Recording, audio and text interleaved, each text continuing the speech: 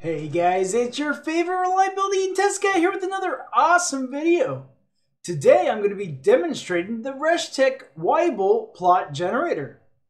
So how do you get this awesome tool? Well, first of all, you'll want to go to your web browser, go to tomresh.com. Once you're on the web page here, you will go to tools and resources. And as you can see here, I have a bunch of handy dandy tools and calculators that you can use, along with white papers and other awesome information. So don't forget to check out my website. Here, if we go back up to the reliability and test calculators, we just scroll down here until we find the ReshTech Weibull generator. So let's go ahead and find that. Here we go. It's the very last one here. So you just click it and you download it. No login information or anything required like my previous website. So once you've downloaded it, you just go in here, and as you can see, uh, you can put in your time to failure data here, and then you just generate the Weibull plot. So there's three tabs here. We have the input data, the Weibull output tab, and then we have instructions here.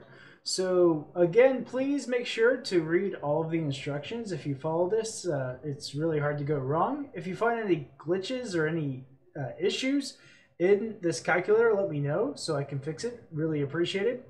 So if we go back in here, so I've already populated here some arbitrary time to failure data. So now we're just going to click this generate Weibull plot button here.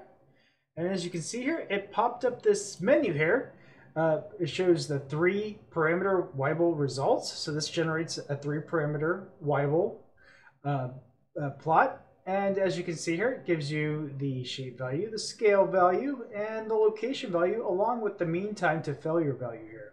So uh, pretty useful information. And don't worry, you don't have to take a screenshot of that. You just go in here to the Weibull output field here, or tab, and then you can see the shape, the scale, location, and the mean time to failure value.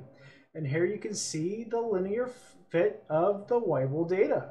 Pretty cool, huh, guys? Uh, let me know if you like this like this calculator, and uh, don't forget to like and subscribe this video. All right, have a great day.